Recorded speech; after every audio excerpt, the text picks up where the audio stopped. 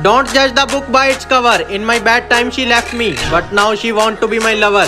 मैंने कहा अच्छे टाइम में तो पराये भी बनते हैं सगे आपकी भी बारी आएगी मुतरमा कृपया लाइन में लगे